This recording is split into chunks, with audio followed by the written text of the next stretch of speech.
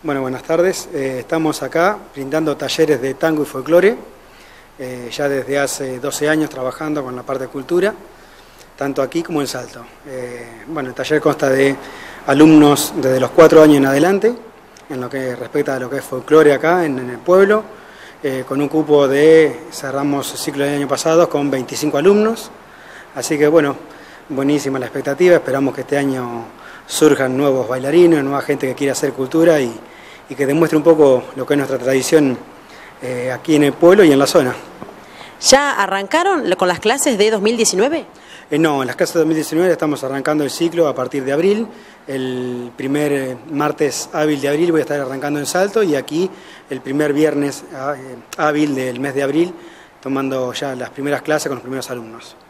¿Y lo hacen aquí mismo, en este mismo club? Sí, sí, eh, yo tengo ya la posibilidad de estar acá, eh, vuelvo a repetirte, hace 12 años, en la cual agradezco, como siempre digo, a la gente de la comisión del club que,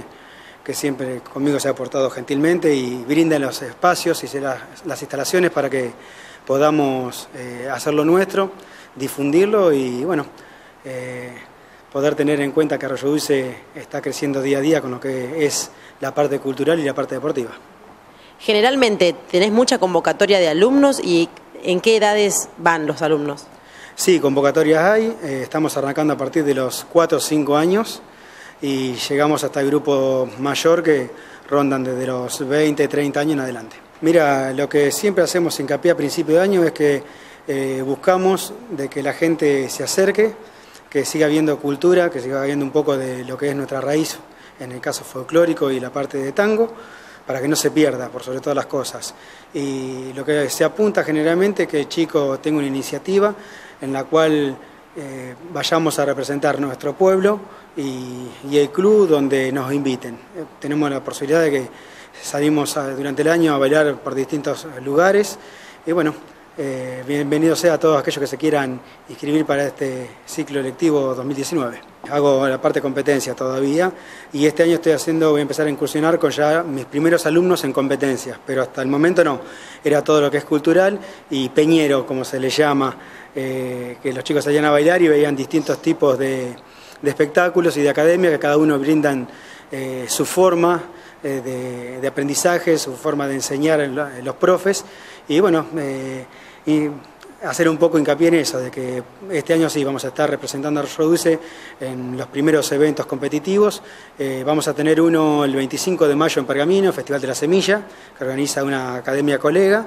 Después en Pergamino se hace el Festival Atahualpa Yupanqui, que también se va a estar realizando en el mes de septiembre a nivel competitivo. Y bueno, si Dios quiere vamos a ver si podemos estar eh, en los dos representando lo que es Arroyo Dulce